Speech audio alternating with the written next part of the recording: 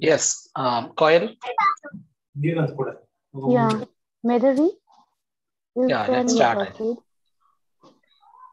Hello and good evening, everyone. Welcome to the seventh public lecture organized by Cultural Studies Research Forum. Cultural Studies Research Forum is a non-profit enterprise started by the students of Vallath's TES to organize free public lectures, courses, and discussions in various aspects of research and cultural studies. It was inaugurated on 13th April 2021 and we invite all of you to take initiative to organize our lectures and connect us with researchers, professors, and scholars from across India to keep this program running successfully. Remember, this is our forum, and each and every one of us has the right to initiate meaningful discussions and deliberations. Do continue supporting us and help us build this forum. Now, I would love to introduce our respected speaker, Dr. Ethiran Kathiravan, for this talk on the topic, the feminine body politics. He is a senior scientist at University of Chicago, also a senior scientist at Department of Biology, Waubonsee Community College, United States of America. He has achieved his PhD in cell biology from JNU. He is a postdoctoral fellow at St. Louis University, a fellow at Department of Pediatrics, John Hopkins University, Baltimore. He has been publishing many papers in leading scientific journals. He holds patents for many discoveries. He is also a frequent writer in Malayalam publications on popular science, issue of socio-political relevance, film studies and analysis, music and dance. With that being said, let us call upon Dr. Ethiran Kathiravan to enlighten us with his words. Sir, please.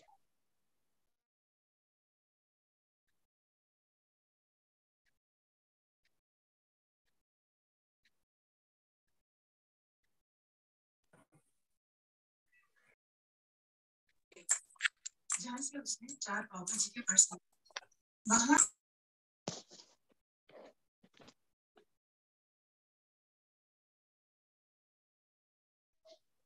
Brigitte, could you please check uh, Sarah is there or not? Yes, yes, yes.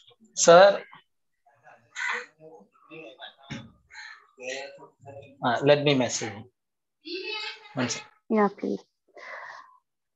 Hello, friends. Please wait for a few minutes. Sarah will be joining soon. I hope uh, you will enjoy this session. Thank you.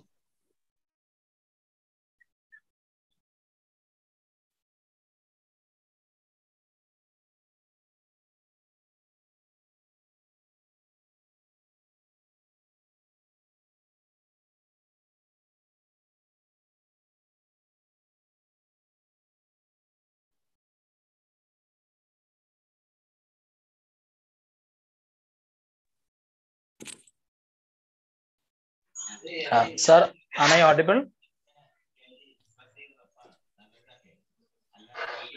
Yes, sir. Yeah. Ethiran, sir? Yes. Yes, I'm let's here. start. Yes, yes. Yeah. Okay. All right. I, I, I think you missed the welcome note. Oh, sorry. uh, we had a Alright. brief introduction of the, I mean, your works and yourself. Okay. Uh, it's an honor for all of us, especially uh, you know Total English Solutions and Cultural Studies Forum, uh, to you uh, to have you here.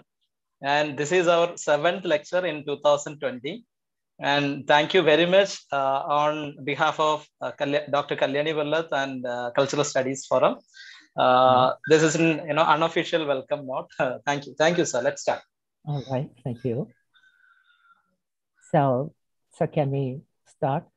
I'm here. Yes, yes. Hello. Uh, sir, the screen visible. The presentation is visible to you. Yes. So, so, um, I don't have the control. Is it? You have the control. Yes, yes, the slide? yes, yes, yes, yes, Uh-oh. I have. All right. Okay. Um, that's right. So I have to tell you to change the slide. All right. Yes, please, please. I Oh. can, I can. Oh, all right. Okay. So, uh, thank you for inviting me here. That is a great opportunity um, because I think there are many here to, to listen. And uh, uh the topic is a little bit inflammatory, yes, and it's current and it is valid. That's why I thought I should talk about it.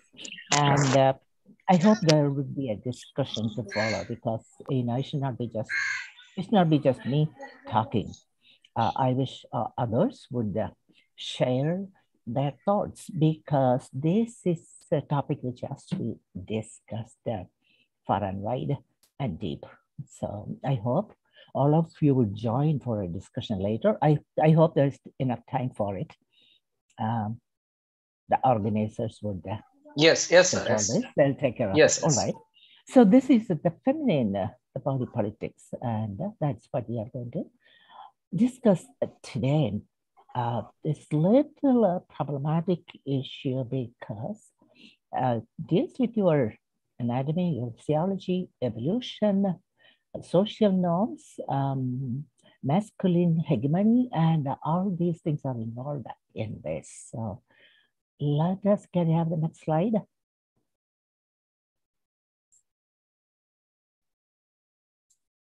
Let us begin with our body. Let's start with a question. Body, a liability. Yes, it is a liability. It's we are the only species who thinks like this is human. Human beings are utterly different. They think about their body and they have made it a liability. This did not happen earlier. This happened during our cultural evolution or the social evolution.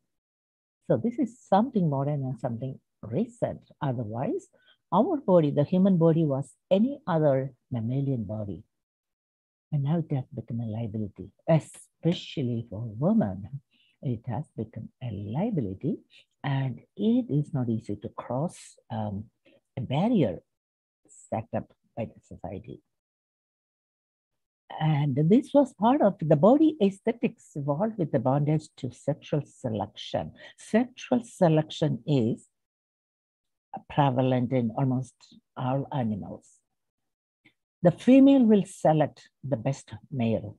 Best male means the strongest, the healthiest, and the most vibrant male will be selected. That's why peacocks, remember, it's a male peacock. It will set out its plumes and display it. And what is it saying? Please select me as your mate. Please take me. So this is part of evolution. And now it has become a, for human beings, it is a liability. Your body, your body display has become a liability. And it was part of sexual selection to display yourself, to display your body, but that was the male body. But human beings reversed it. They shifted it to the female body. This kind of defies the norms of evolution. And body beauty does not have anything to do with the survival. Evolution is all about survival. And body beauty does not have anything to do with survival beauty need not be part of any health issues or health systems. It's totally fake. But we have our own conception. Can I have the next slide?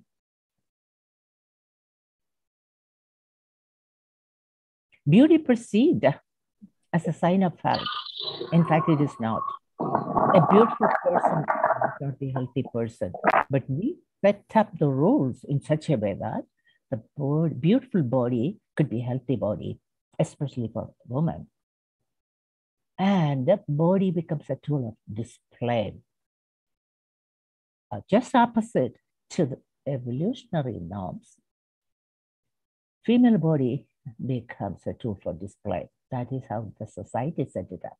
All right. As I said, it's something recent. In human evolution, it's not very old. It's kind of recent. And this became crucial for non-reproductive mating. That's what humans did. 98% of animals, they mate to have offsprings, not for the fun of it. They have sex, not for the fun of it, just to procreate, just to have offspring. But human beings totally changed the role. We do it for fun. Non-reproductive mating. And here, aesthetics come to play. The beauty of female body would come to play. And the modern social norms made it all the more difficult. Body is for display. It has become so difficult because the question is there what to display, whom to display, where, when to display. Because I need to get a mate, I need to have sex. And it's not for procreation, it's not to have offspring, it is just for fun. This is a big challenge to the, the rules of evolution. That's what happened. Can you have the next slide, please? Body has become a commodity in that way. In social value system, it is, it is a commodity. Yes, it has become one. And liberalization of sex intensified this because when sex became just a matter of choice of the day, body, you have to sell the body. You have to make it clear, hey, I'm ready to mate for no reason, just for fun. Body gets tied with the marketing value. So when it becomes a commodity, body gets tied with the marketing value in the society. It's not monetary value, it's conceptual value, the value which society decides. So it comes with the value and it has to be marketed. Yes. Can I have next slide, please? So it's judgmental. There are judgmental norms. Especially women's body would come under social observation. The body to be displayed. It should be appealing. It's always being judged. And adorned body is a hallmark. Yes. Women need to display it because it is being marketed. It's annoyingly it is being done. And that is how the, the patriarchal system or the masculine hegemony has decided. It sets the role. And an adorned body of, of women, of females, became the main ingredient in cultural formulations. In cultural formulations, it's all uh, decided. The rules are set how women behave, how they look like, how they behave, what are their attributes. So culture of a particular ethnic group or a particular society is judged by, hey, how are the girls there? How are the women there? Are they good looking? Do they behave properly? Do they market themselves easily and well? How are they? Oh, that society is very good. Women are really good. They are well behaved. They're beautiful. Yes, there's a lot of demand. They set up themselves as if there's demand for the culture. The culture of that society is supreme. That is a judgment. So it's under judgmental norms of the society, especially woman's body. Can we have the next slide?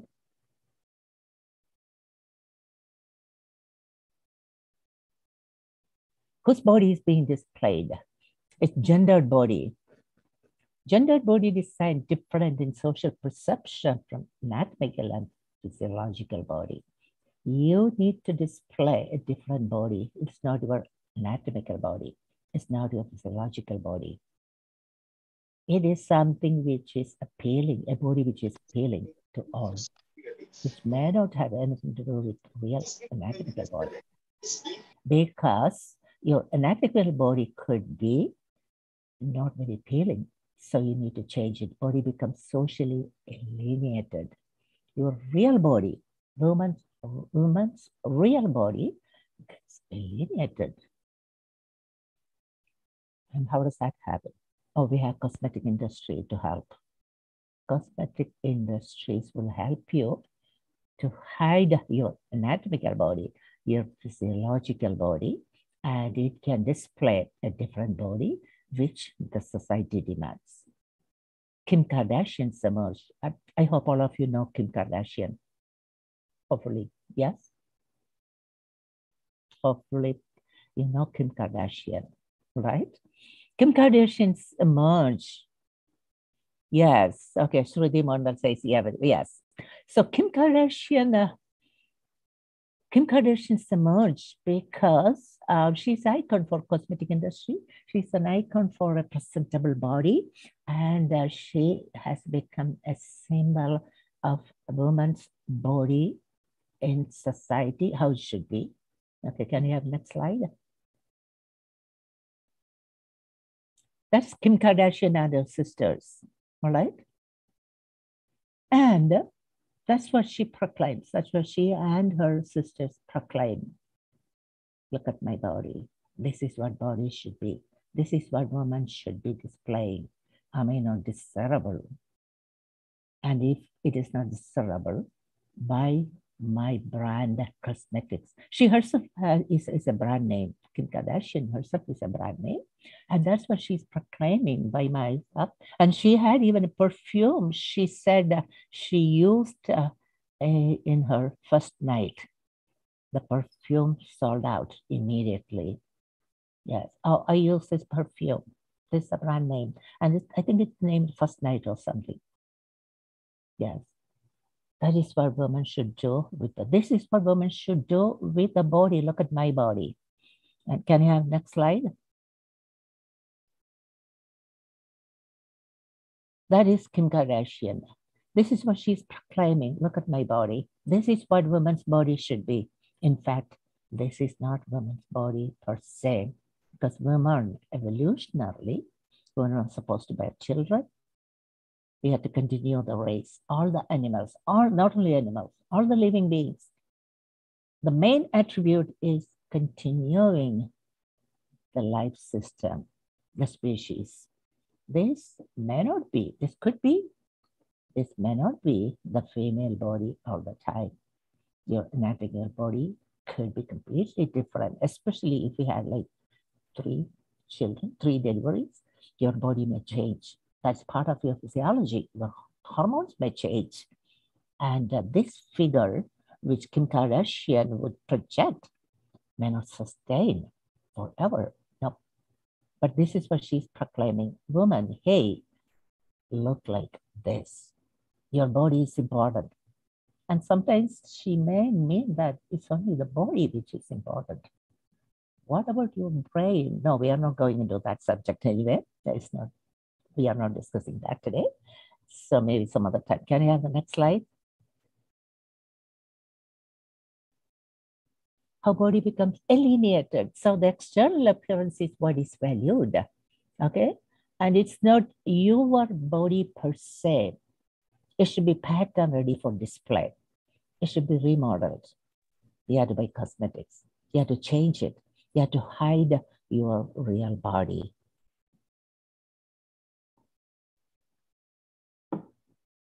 So your own body has become an alien in you.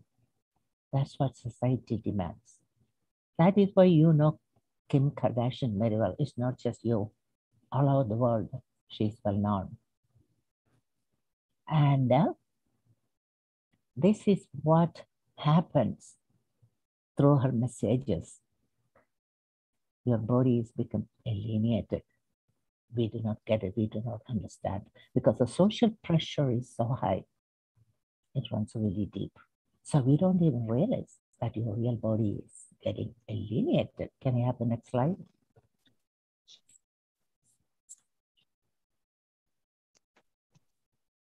So here comes the art of makeup. It's the art of disguise. You have to hide yourself.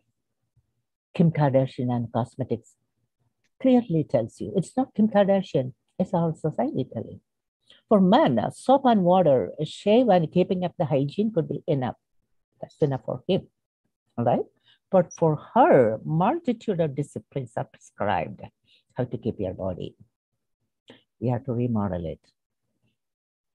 Woman, she has been made by God with bodily deficiencies.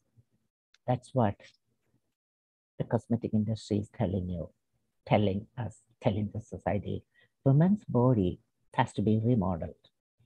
It has to be patched up. New appliances has to be bought, repainted. It has to smell good. It's like your kitchen remodeling. Woman's body is something which has to be remodeled. Why? Because God made woman with bodily deficiencies. Your body as such is not good enough. Look at the pathetic part of it. Imperfect woman, please become feminine. That's what the current society is, is telling you. Women are imperfect, the body is imperfect. And disguise yourself, the art of makeup. That's why I have the heading. The art of makeup is the art of disguise. Disguise yourself. Remodel. Just like remodeling your kitchen, remodel yourself. Display something good, something which is appealing and appealing appealing to whom? Especially, it's understood, no need to explain, appealing to men, the whole society. It's a men's society. And that's another discussion point. Not going into that. Can you have the next slide?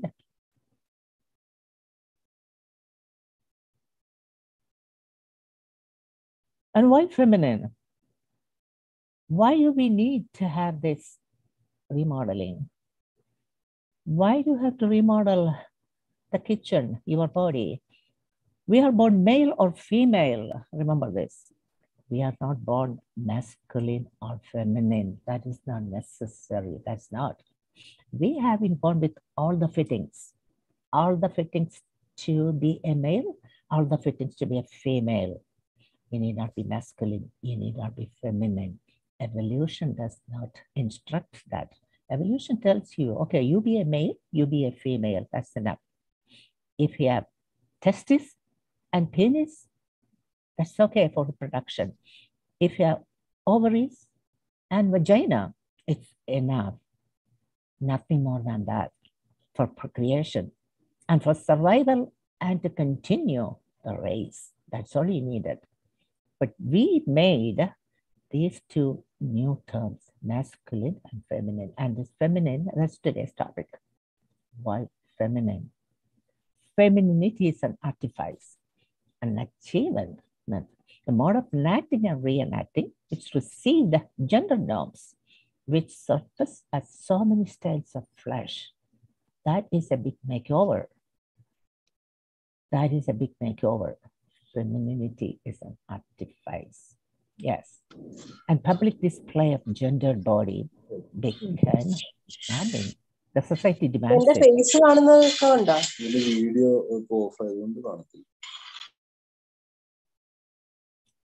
Sorry, sir. Please come. Okay. All right.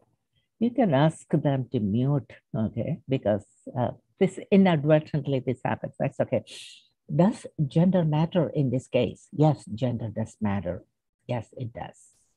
And it can get into confusing uh, uh, modalities. Yeah, Can have the next slide?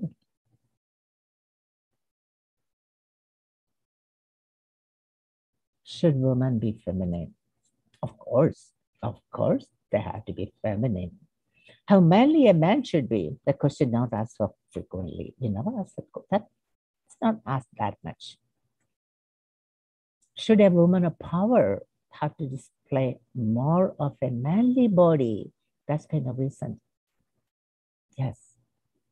A woman of power, maybe, to display a more manly body, and who decides this? Those are two big questions.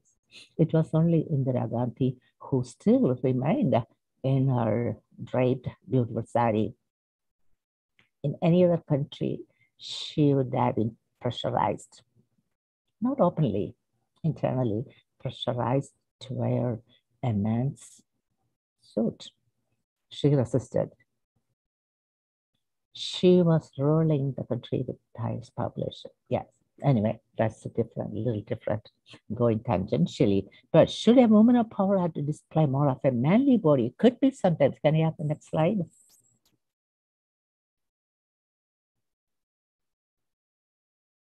Yes. sometimes you have to get into this transfiguration. Transfiguration is a biblical term. And Jesus, uh, when he resurrected, he had more radiance. His body was completely changed. It was magnificent transfiguration. And this is sometimes demanding. If you are in the position of an, an, an executive, in, a, in an executive position, you may be instructed indirectly to dress like a man. But you had to be, you had to project your face and your hair as much feminine as possible. Look at this one. She has the man's dress, the typical office suit, but she has to be feminine by her face, by her head. She should have eyeliners. She should have a eyelash, everything feminine, but transfiguration is to happen. That has been instructed. That has come to society easily. This came into society so easily. Transfiguration. You have to dress like a man most of the time. And that works. This works. Only if you dress like a man, you kind of command others. That has stuck in the corporate world. Can you have the next slide? And this is another attribute of it.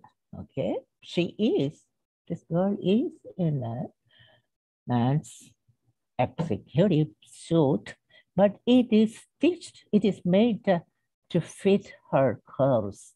Look at that.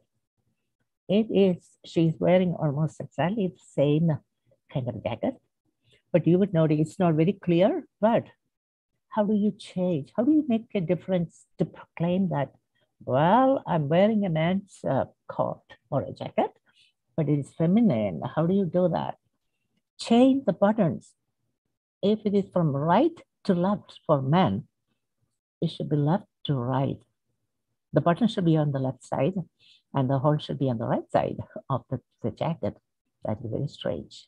That is proclaiming. I know that most of you would be familiar with that. If you have any kind of shirt-like garment, if it is women's garment, the buttons would switch as if it serves a purpose. It's such a nonsensical thought that switching the button to left or right would do it. But look at look at her posture. Although she is in a man's attire, she has to pose in a different way. She has to show and uh, she had to display the femininity, the curves and that's why she has a crossed leg. Look at the way, compare the way he stands and she stands. She has to cross her legs, display her curves. She's wearing almost the same suit as him, but it's different. So it is, here comes the sexuality of it. Here comes the femininity. So this mode kind of instructs, all right, you are wearing a men's dress, but you better make it different. Don't lose your femininity. You should be as much feminine as possible. Bring out your curly hair, put it out over your shoulder. Cross your legs so that your, your uh, curve lines are projected. That is how you do the transfiguration. Femininity in masculinity, it's a femininity, it's not being hidden. It's uprightly explicit. That is what is happening. Can you have the next slide?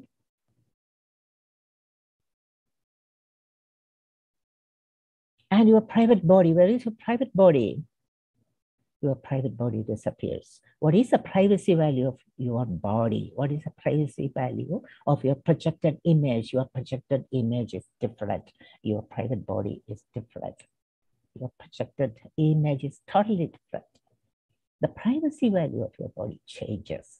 This is not easy. This is a conflict too. And woman, this is a conflict because as I said before, your private body, your anatomical body has to be hidden. It should be hidden. Nobody should see it. How much does gender matter? Yes. The gender matters here in this issue. A man need not hide his private body. A woman should hide her body and bring it up in a different way. If a female, your private body should be maintained as close to public body, but that's not possible. You have to frame it, you have to fake it. You need to impress people that, hey, my private body and my public body are the same, which is not that easy. It may show up sometimes. That's why in that picture, she was, she had a hand over her coat, pulling it in the middle so that her curve could be revealed. She had to cross her legs. She's trying to hide her private body and show up. And look at this. This is a feminine body. If a female, your private body should be maintained as close to public body, which is not easy, but she's trying. Well, most of the time or sometimes, well, it depends. This may shift. This may shift later. Okay, for work. So what she was doing, she had men's garments in the corporate world, assuming that that will uh, bring in, that will supply some command in the office. But this kind of shifts when a woman need to do some other work. This is not, this whole concept, it totally overturned in other situations, depending on what situation you are in. Can you have the next slide?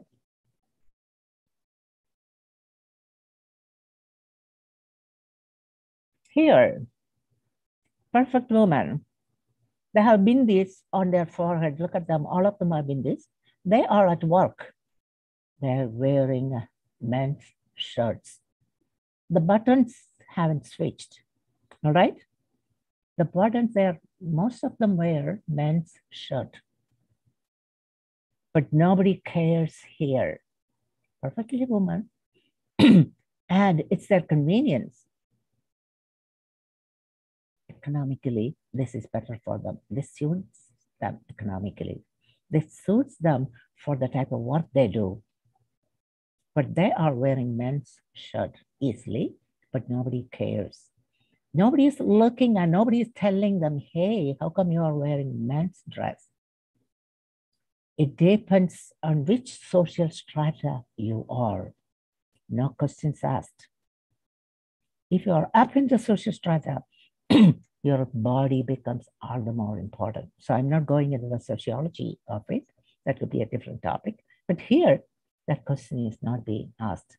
And this is perfect, this is easy because they, these women understand the practicability of a shirt, which was made for men, the Western world. But look at it. It has, this has become, this is kind of recent. It's not very ancient. This habit came to us kind of recently, maybe 30 years. This originated because it's so convenient. And not only many of the workers here, so they may be nursing their babies in between. It's easily open. You can open the button and easily you can nurse your baby. It has practical aspects. Uh, it has economical aspects because it's very cheap. You can get it easily. You can get an old shirt from your husband, your father or your brother, or you can pick it up from the trash. Can I have the next slide?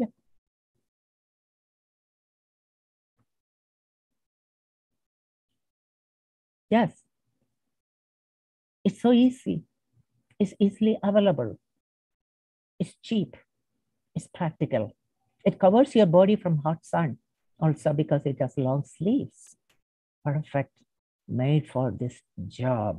So it's completely different from a corporate suit, which upper strata women can enjoy in a different way, revealing their body curves. But here, there's no such intention because this is the bare facts of life. This is for survival. This makes easy for them. their, their survival on their job. But nobody cares, as I said, the whole algorithm shifts here. The body, uh, the, the body politics totally shifts here. The algorithm totally changes. And this is not a matter of discussion too. We never even look at this, we never even discuss it, all right? And that is how the society has a strata. It's, it has a hierarchy in deciding the body politics. It depends where in that hierarchy, where in that ladder, which step of the ladder you are standing, it depends. The algorithm can shift. So your body, woman's body, its display depends on which strata of the society you belong to. Can we have the next slide? And the question is constantly being asked. Uh, are you feminine? In fact, it's nobody's concern. And as I said, social hierarchy sets the rules. And that is why a woman at the construction site can wear a shirt. A woman in paddy field can wear it. And nobody is asking this question, hey, are you feminine? That, that question is not being asked there. And it's nobody's concern there. But it becomes the moment you are going up in the social strata, this question becomes really hard. The intensity of this question will increase when you go up in the social strata. The body, that's why he said the body algorithm shifts. There's a big shift in the algorithm of the body politics. Can you have the next slide? And we had once unisex dress, especially in Kerala. This used to be dress. One um, veshti or a loin cloth and an upper piece of, another piece of cloth. No stitching needed, nothing needed, just two pieces of cloth, unisex dress in Kerala. And men also used to wear this. This used to be the case. And there's no demand to display any difference. Nothing asked about the femininity and, and as you all know, uh, the upper part of the body uh, need not be even covered, all right? No blouse, nothing. Uh, you can have your breasts totally exposed. It did, did not have any sexual connotations. That we are not going into that, maybe later in, in another session. But it is possible. History proves that it is possible your feminine body need not be feminine. You can dress up as a man, or a man can dress up as a woman. Can you have the next slide? Yeah, this is this is a modern Malayali man. He has the same. He has a long, a, a long cloth, what we call vesti or munda. And then he, he has an upper garment, it's again a piece of cloth. Just drape it around that is okay. So the question of femininity need not be integrated or confused with the dress you wear because the body is the same. It's a man's body, it's a woman's body. It is not a masculine body and it's not a feminine body. It's just man and woman. Same dress. Why not? And when dress evolved, maybe this, this is what happened. Yes. Can you have the next slide? Should gender be discriminated in public spaces now? This thought came up recently. In public spaces, why should a gender be discriminated?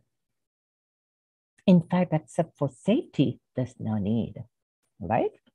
If your private body is almost equal to public body, no conflict arises. That means without the makeup, without the, the cosmetic industry supporting you to for, for transfiguration, it's okay. There's no need to discriminate in public spaces. This, well, there's a big clamor for this. And we are changing slowly, little, little by little, little by little. Can, can you have the next slide? Gender neutral toilets have come over. And, and this is this notice which is stuck uh, near a toilet uh, is really cute.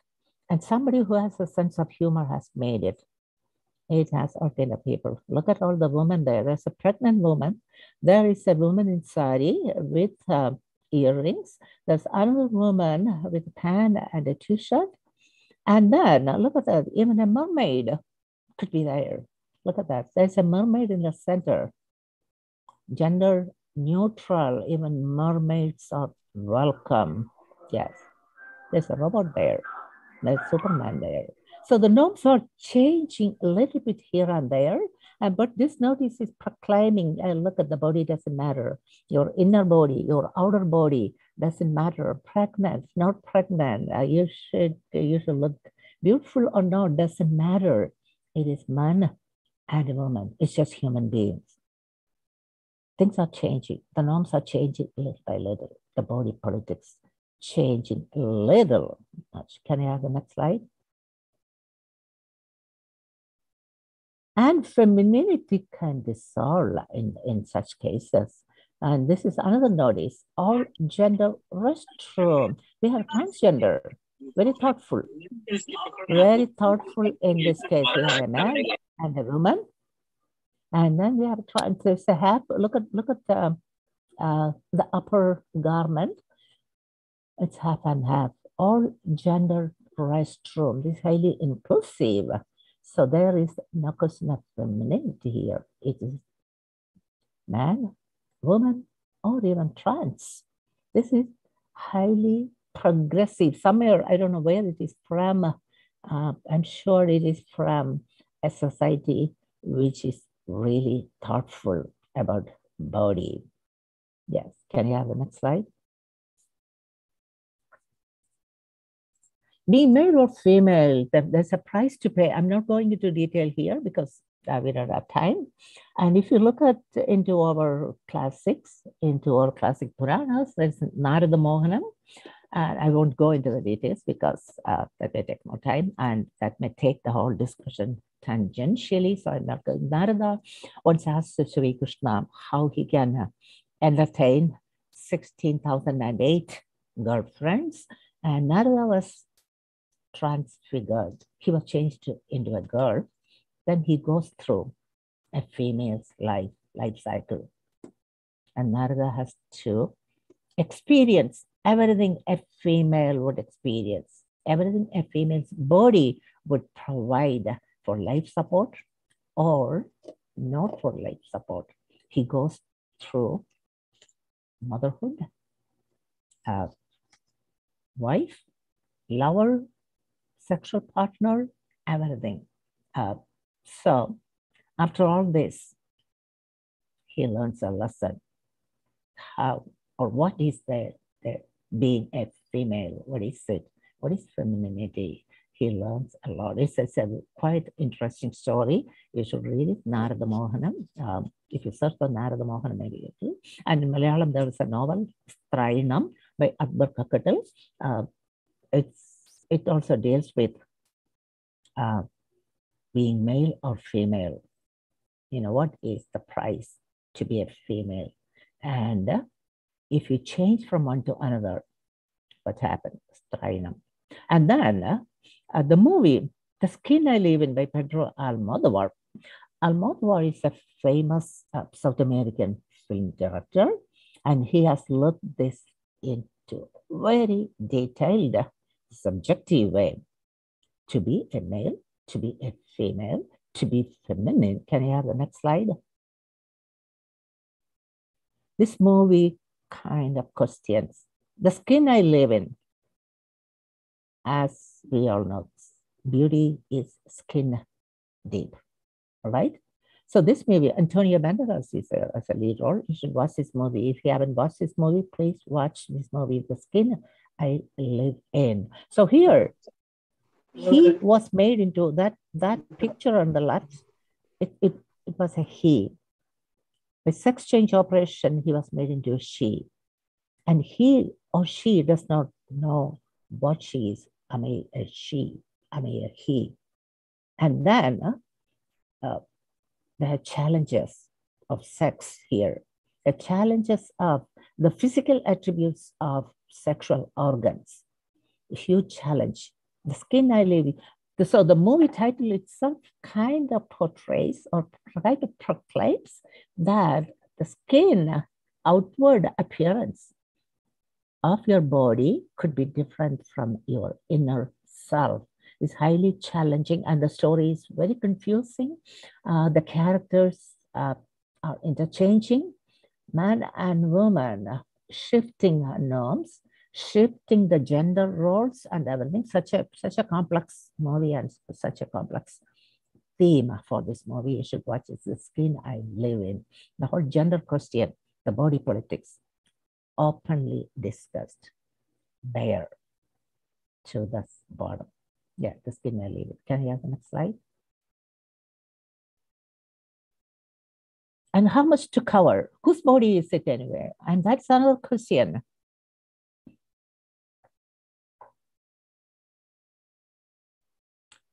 Gender displays being synchronized. How much is to cover? Who will decide how much to cover? What not to cover? Gender displays being synchronized. The dividing lines are being dissolved now.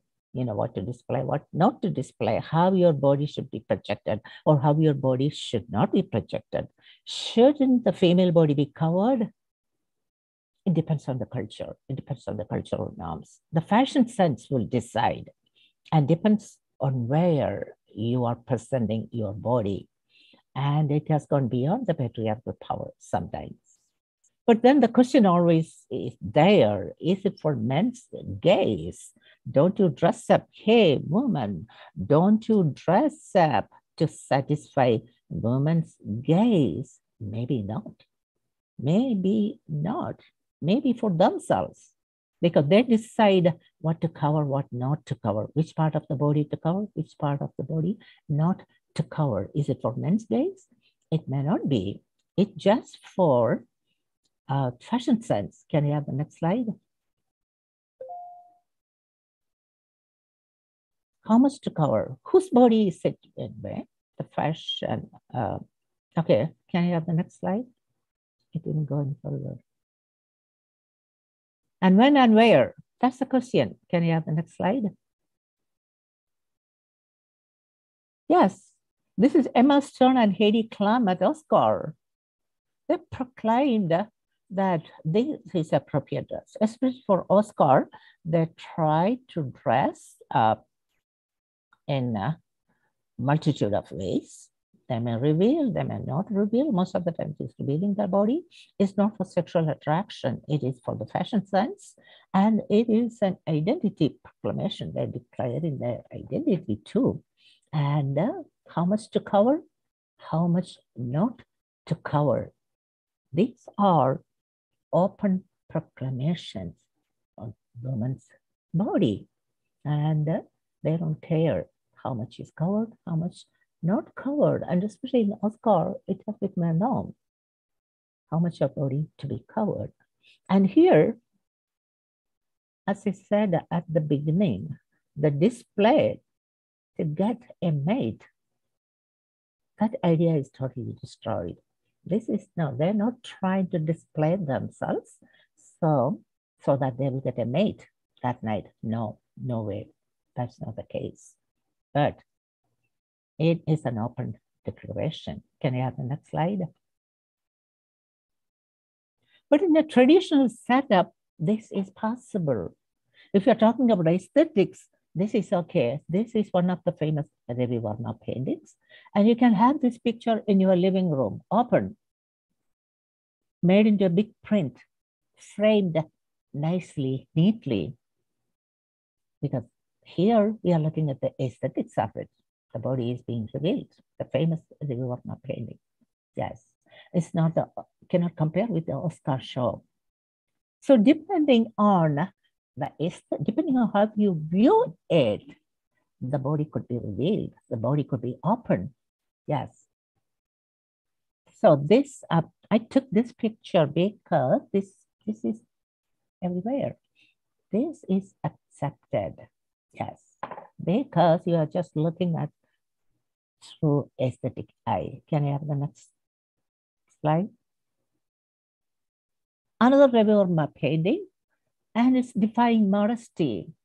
Yes, the social norms are challenged here, very clearly challenged. And uh, the fruits in that uh, plate have a special shape, and that is not just incidental, that is purposeful. You know what I'm talking about. Those fruits are made in such a way. Uh, it, there's a purpose behind it. They were it really well, but this is not to be, that's, you can ignore it. The suggestion, the suggestive modalities could be ignored, but this is clear. And are we defying modesty? Yes, we are. And what is modesty? How do you define modesty? For woman's body, how do you define modesty? And this is a question there. We can define modesty in different way. If you're looking through an aesthetic, through an aesthetic eye, it could be different. Can I have the next slide? This is the cover page of a, of a famous book by a famous Malayalam writer by Muhammad Bashir. And the, the book's name, uh, which this book will not be published now if it is. This book came out in 1940s or 1950s, but now it is impossible. Uh, it, is, it is one Bhagavad Gita and some rest. That's the name of the book. We cannot bring these two together in today's world in India. It's impossible. We cannot bring in Bhagavad Gita and breast together. And the cover page was explicit. The cover page was explicit and Bashir could dare, and Malayalis could dare to get this book published and read with this cover page. Tradition, what is tradition? Tradition, what is what does tradition proclaim of woman's body? This was placed bare on society, yes. And, and the concept also, the story is um, kind of witty and funny, as Bashir always does. But we had this once in our society. Remember, we had these kind of days. We could bring in Bhagavad Gita and female upper body parts together with no problem. Can we have the next slide?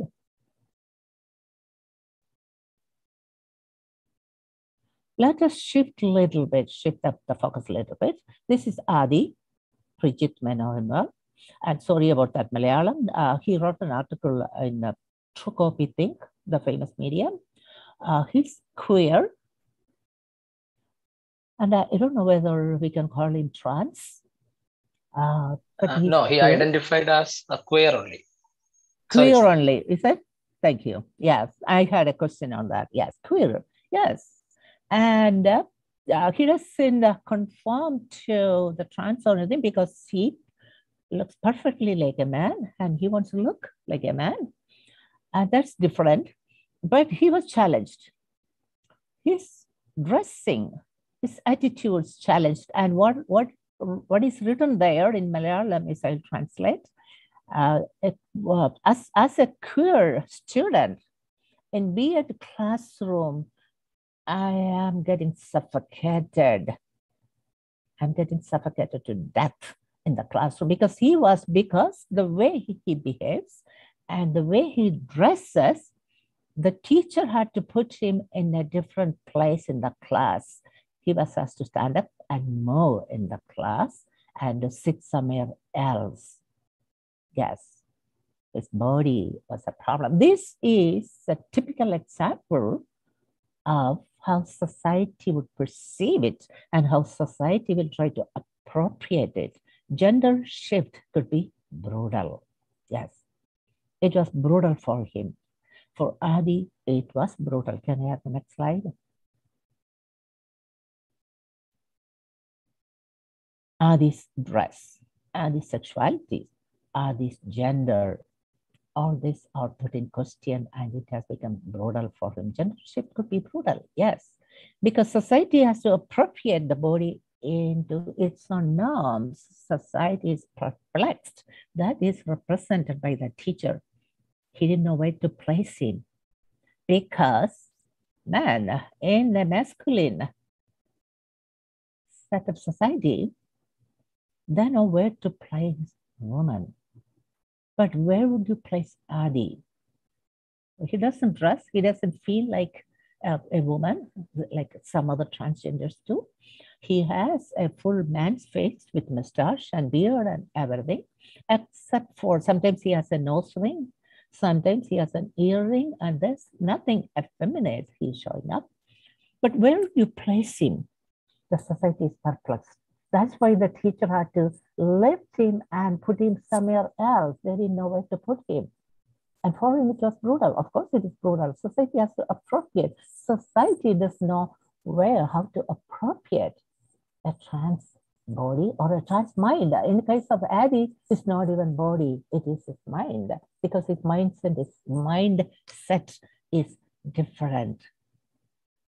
Questions, problems, which could be brutal for the person.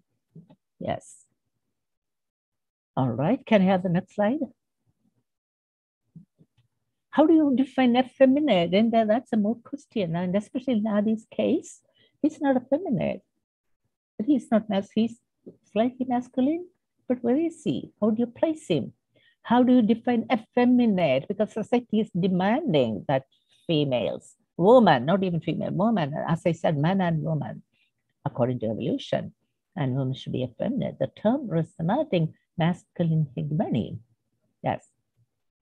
Because effeminate term came or was coined by the masculine section of the society. Women should be feminine, but should men be masculine? Not quite, because men set up the rules. But for sure, that's what men would proclaim a woman's body should be effeminate. So the term should have, for sure, the term would have been made by a masculine mind, not a feminine mind, because there's no feminine mind. As I said, there's only man and woman evolutionarily. And for survival, there's only man and woman. There's no effeminate woman. Uh, thank you. And I would um, appreciate discussion on this because some of the points I did not discuss could be elaborated by the discussion. Okay, Bridget, you can uh, take the slides off.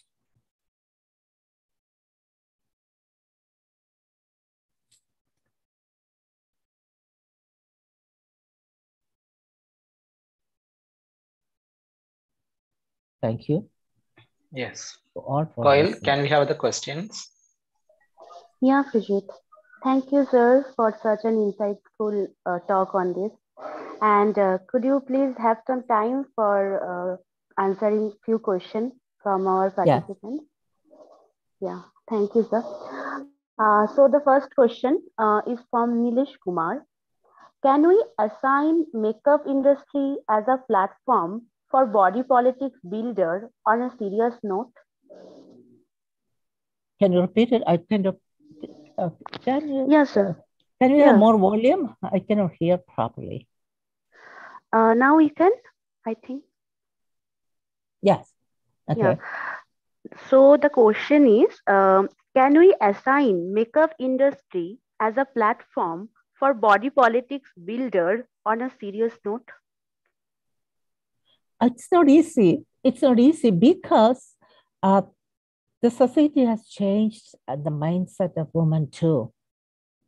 Because they have to, it has become so much ingrained in them that they had to be appealing all the time. So as long as that situation sustains, the makeup industry will survive. Yeah, yeah, it is making a big platform. That's why he brought up Kim Kardashian as a brand name and as an example. Of course, it of course it is. Of course it is. Makeup industry is one of the biggest industries in the world. Yes. I hope I answered the question. Wa- wa- Was there a second part for the question? Uh, no, sir. There is No, another that's good. question. No, sir. Thank you so much. Uh, there is another question from Nina. Mm, she is asking, gender roles are perpetuated by women as well as men. How do you see the role of women in legitimizing gender role? It is, uh, you know, the society rules are set most of the time by men. That's what I, I was trying to say in, our, in my last slides. So the gender roles are specified by them, and uh, it's not that easy to change them. That's why I showed uh, some of the signs um, on uh, uh, gender tolerant toilets. It's slowly changing, very little bit. So that is uh, that is how the society is set up right now. It's not easy to challenge it because it's worldwide. It is. It has been set up like that, and especially uh, our religious feelings, our religious norms also uh, has influenced us, especially in India also. Yes, because all the goddesses have been described as beautiful, fair, adorned with the gold, adorned with silk and other beautiful dresses.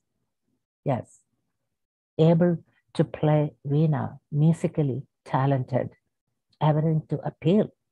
It's ingrained in our psyche, so it is not easy to change it. So, if women follow that rule, it, it's not, you cannot blame them. You cannot blame them. The upbringing, the, the cultural uh, influences all have made her to think like that. So it's not a uh, it's not a problem. That's what the situation is. Yes. So it's unfortunate, but that is the truth of it. Thank you, sir. Uh, you. if anyone just ask by unmuting yourself, you can. You can speak with our uh, respected sir. Siddhi? So uh, there's a, I just want to ask one question. Is there any connection of male vulnerability with the feminine body, body politic? Can you repeat the question? Is there any connection of male vulnerability with the feminine body politic? Of course, because uh, the the feminine body itself, as I said, uh, is set up to attract vulnerable men. Right? It is as if that's why the, the cosmetic industry is, is, is surviving well, is thriving because uh, women feel that men are vulnerable. So we have to appeal to them. Yes. Okay, sir. Thank you. Thank you, sir. There is another question from Amurtha. Body politics was much discussed earlier in images, ads, etc. What is the relevance of body politics in contemporary research? Uh, what was the first part? I could not hear it properly. What was the Uh, first part? she is asking that body politics was much discussed earlier in images, advertisements, etc. What is the relevance of body politics in contemporary research? in contemporary research, uh, these are the issues. These are the issues. For example, take the issue of Addie. That is contemporary. Uh, it, it's a mood question. What is how, how the body should be perceived uh, of a person like Addie? All right. What is effeminate? What is effeminate? Why should woman be woman be effeminate? Sh- when should we dress as women, as men? That's why I had those pictures of those construction site workers women or paddy field working women. What is their body politics? Why don't we discuss about their body, their body and that the politics, the way they dress? Yes, that is why it is contemporary. That's why that okay. It's a good question. That's why I had that Addie's um, example there because the contemporary society does not know how to handle a person like Adi.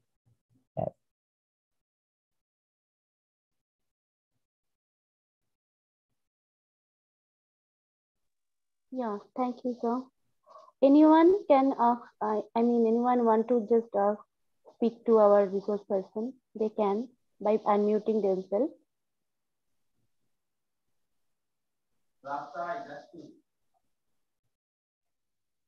Okay, sir, there is another question uh, Okay. from Saili. How does body designing a source for insecurities among Indian society? Yes, that is, yes, good question. Yeah, I can read it now. Body design in sort of insecure. Yes, the body, this, uh, why do we have to design a body? That's why I was discussing the, the anatomical body and the body you project. You have to hide your anatomical body, anatomical body. Insecurities among Indian society is very difficult. It's very, it's very difficult because uh, it's not easy uh, ours is not a progressive society. It's not.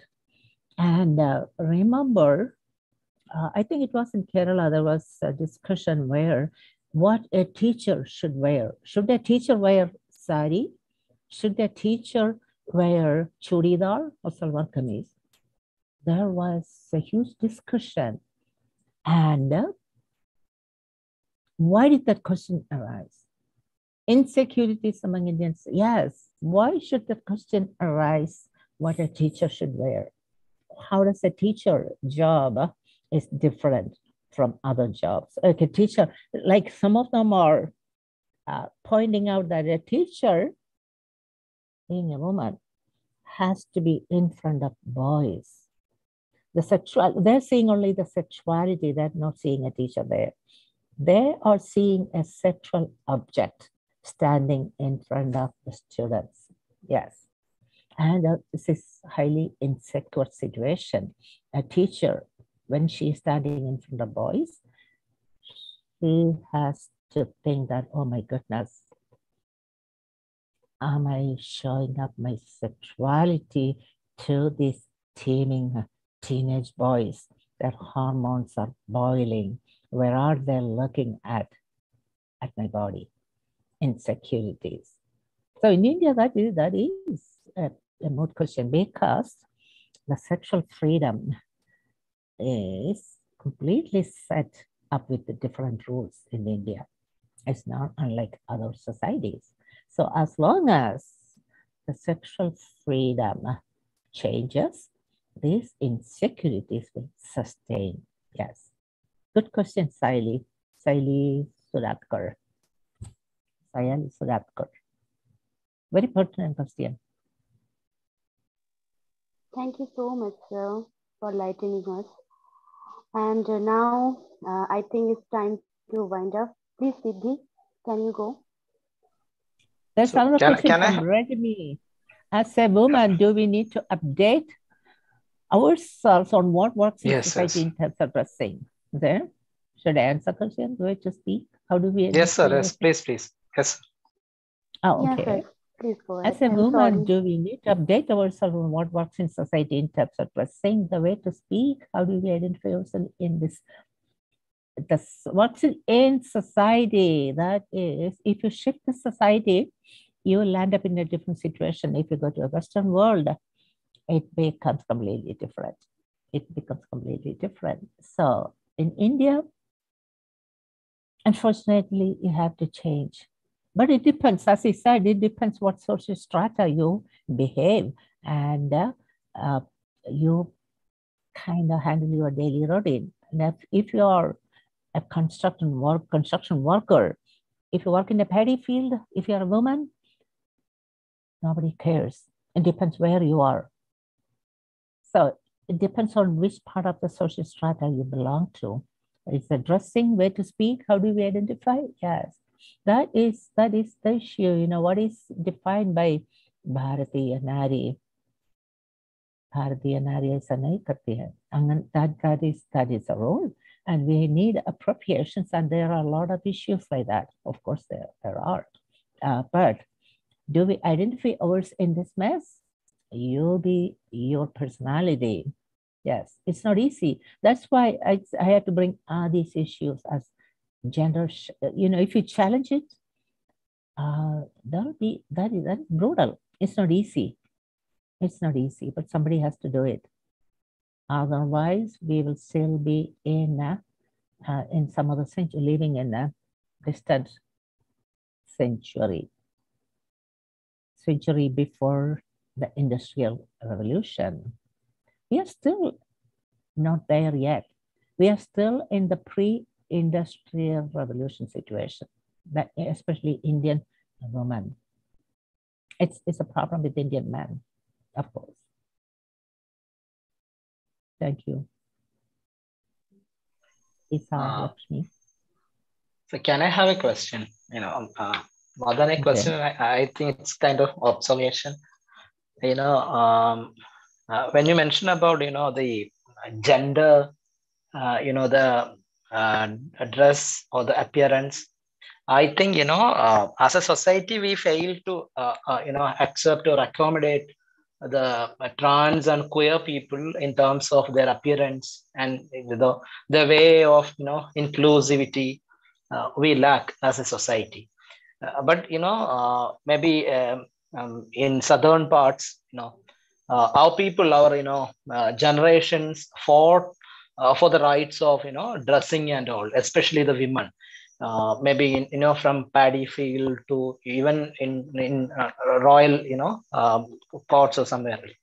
So um, the appearance, uh, the dressing style, or the way they behave, your you know, uh, or perform their you know gender or something are interconnected in a way or other but uh, you know um, how can we place you know uh, the concept of uh, presenting you know femininity masculinity or effeminated bodies uh, uh, uh, uh, in a society like ours you know how can we define the way of you know presenting ourselves?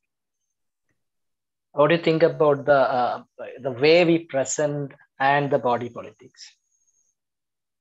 See, see, revolutions always come up as a result of uh, public resentment. And uh, if you want to change that, you have to be out on the street. That's only way to appeal to the politicians. Uh, you know, there was years ago, there was this uh, big struggle to get permission to cover upper body part for women, the famous Marumarakkal Samaram.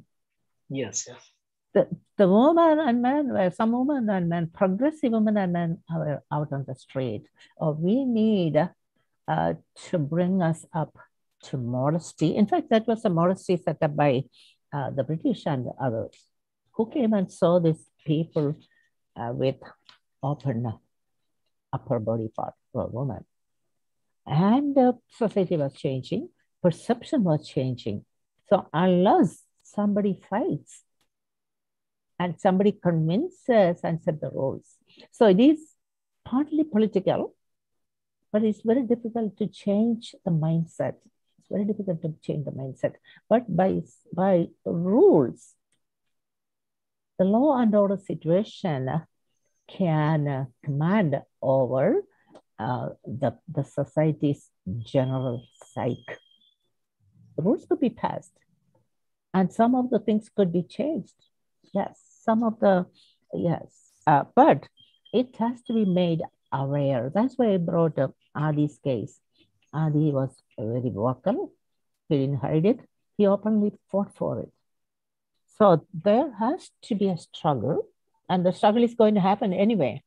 If the society, if most of the society would feel like that, there would be a struggle for sure.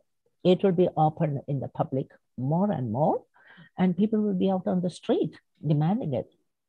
And it's Uh, uh, it's it it can I, there is can I add, is add something like this it. Yes, yes, uh, but it's like you know um, when you know uh, the gender neutral uniform you know the scenario the great debate uh, is going on in in our state like you know uh, people are asking like you know whose choice? That's very important you know uh, who is uh, deciding this is gender neutral and uh, who is you know proclaiming this has to be wear by uh, you know girl children or boys or you know whatever gender they belong to.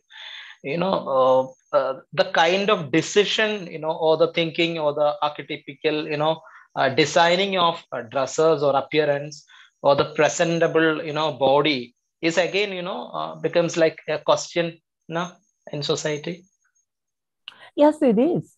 it is the collective psyche which should decide. But as I said, law and order system can uh, uh, make uh, cleavages into it. It can make its own impact on it. We're passing the rules. For example, the the toilet situation.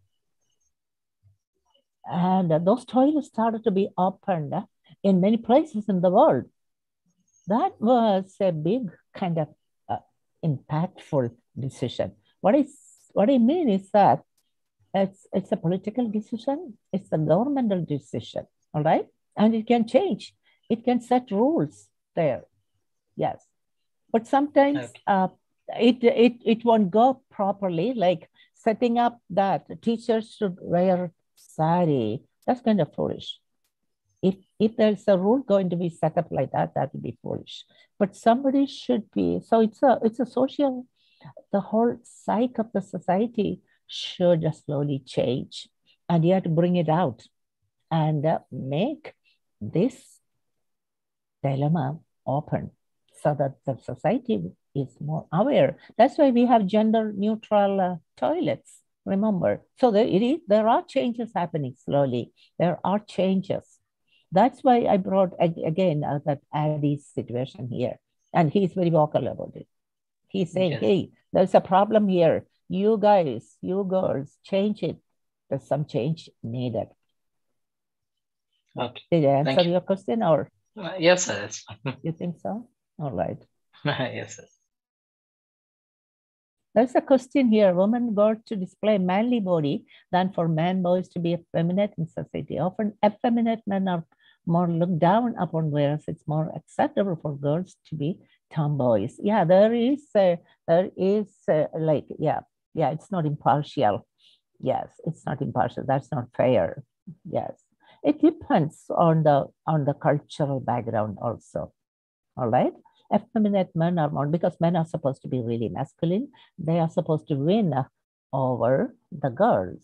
And if a man is effeminate, oh, that will bring disdain. That is ridiculous. Look at that guy. He's uh, effeminate. Yes, because he's supposed to win girls.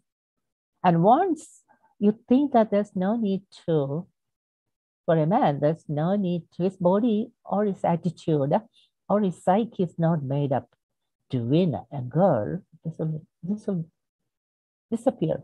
But unfortunately, that mind that mindset is not going to change that easily all over the world. And it's more acceptable for girls to be tomboys. Oh, I don't know. That is uh, something subjective.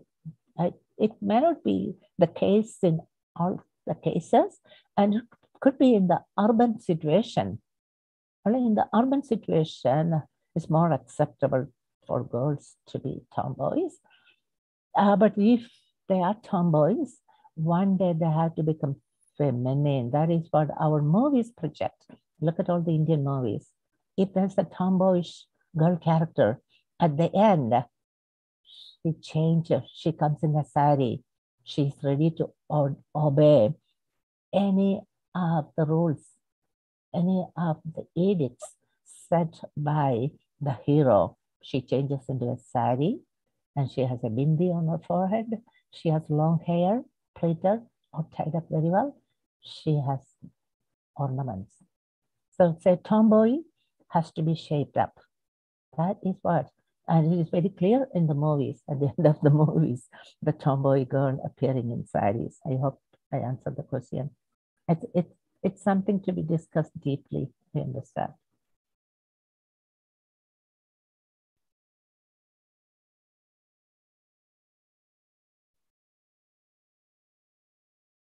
And there's another question, I think it's a Krishnu Gautam.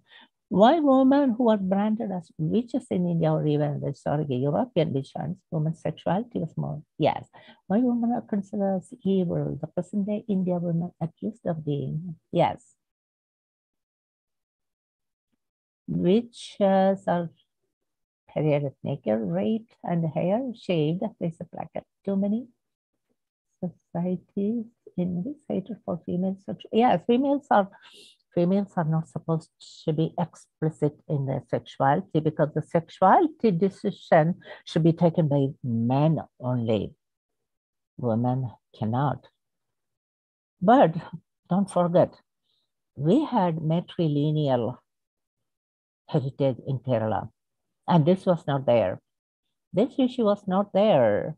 The matrilineal matriarchal situation, what we call Marumakkathayam, in Kerala for long. Even now, some of the, the, the ethnic groups still follows. It's many in many part of the world, there is this matriarchal or matrilineal societies, and there women have more power. There's no need to attract a man because uh, marriage is just practical only. The head of the family will be uncle, and woman would decide along with uncle woman would decide the family matters. So sexuality is there not for winning any man, but this, uh, this the witches or the yakshi concept evolved from some kind of phobias among men. That this woman, when they display their sexuality, that is dangerous because they think this, this thought came from men who had some uh, issues with their own sexuality. Many men who were afraid that they are not sexual enough thought that there are these women in Kerala, is the Yakshi thought, the Yakshi concept, that these women are here to attract us, have sex, and murder us. Yes. So these kind of thoughts are uh, the, the witch hunting is mainly the the problem, the psychological problem of men that they are not fit enough. They are not good enough to attract a woman. They are not good enough to subdue a woman. So that kind of embarrassment would lead to brand women as witches or sexually explicit, demanding creatures. So those, that's such kind of, so in fact, it is a problem with men. It is, they are, they, they, they lost their ego. So it's part of the ego. It's clearly egotistical. When they have deformed the ego, they will blame it on women and try to escape. That is the background of it. Thank you for that question.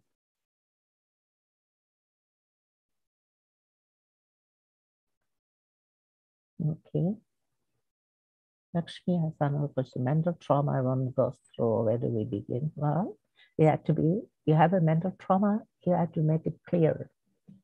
You have to make it clear to the society, hey, we have mental trauma. Most probably you should write about it. You should write about it, you should talk about it. Otherwise, there will not be a change. It's very difficult.